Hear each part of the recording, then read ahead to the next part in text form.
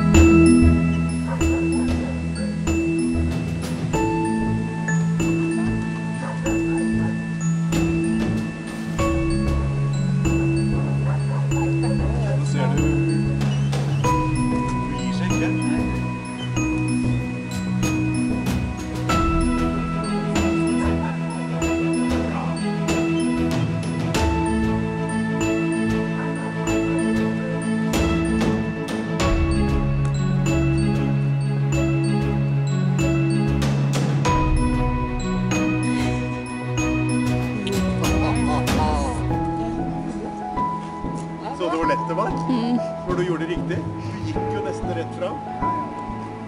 Tror det er fin stil på den ikke? Ja,